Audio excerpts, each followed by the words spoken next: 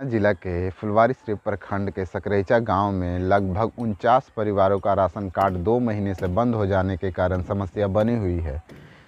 एक तो काम बंद है और दूसरा है कोरोना। इस महामारी में ही राशन कार्ड बंद कर दिया गया है।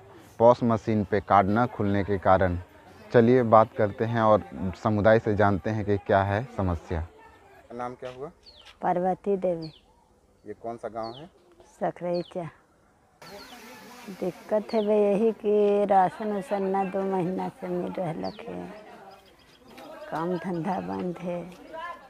क्यों नहीं राशन मिल रहा? औंठा के टिप्पे न लेते हैं तो राशने न देते और तो ये समस्या को लेकर के आप बात किए हैं किसी से? कहाँ? डीलर से बात कैली हल तो नहीं कहकिन कि टिप्पे नहीं लेता है तो कैसे देंगे? तो आप कैसे खा रहे हैं आप लोग? अब खा रही कर्जा महाजन लेके खा रही कैसे हैं। काम धाम भी नहीं मिल रहा। है नहीं।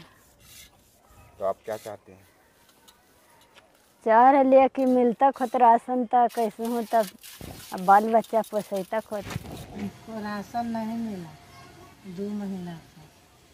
अब पहले राशन मिलता था? हाँ। कैसे मिलता था राशन? राशन में लिंक में नाम नहीं आता तब मिल जाता था। हाँ। अब? अब नहीं मिल रहा है सरकार घर से नहीं आ रहा है। मोल किन के खा रहे हैं चावल? पति क्या करते हैं? लेबर में काम करती है। तो आप क्या चाहते हैं? हमको राशन मिलेगा। प्रक्रिया में तो हम न गए हैं बाकी डीलर साहब कहते हैं कि आवासीय बना के लाइए। तो आवासीय तो पंद्रह दिन में मिलेगा तो पंद्रह दिन फिर ये भी महीना के गोल हो जाएगा। हाबी टिपिट के करने के लिए कहते हैं तो पैसा है नहीं कि हाबी टिपिट कहाँ से कराएँ हम। हमारा घर में सात लड़कन है मेरा दो गो प्राणी हैं एक बहू है। सभी का बंद है। सभी का बंद है। तो आप क्या क्या चाहते हैं?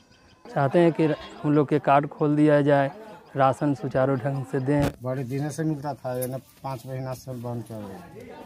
तो क्या क्या दिक्कत होता है? बंद है तो? यहाँ तक खाते हैं। नहीं कमाते तो नहीं मिलता। है राशन चाहते हैं तो। वीडियो देखने वाले सभी साथियों से आग्रह करता हूँ कि वो राशन कार्ड चालू कराने में हमारी मदद करें। इस वीडियो को ज़्यादा से ज़्यादा लाइक करें शेयर करें और हमारे चैनल वीडियो वॉलेंटियर को सब्सक्राइब करें। मैं मनोज कुमार, जिला पटना, बिहार, इंडिया अनहट के लिए।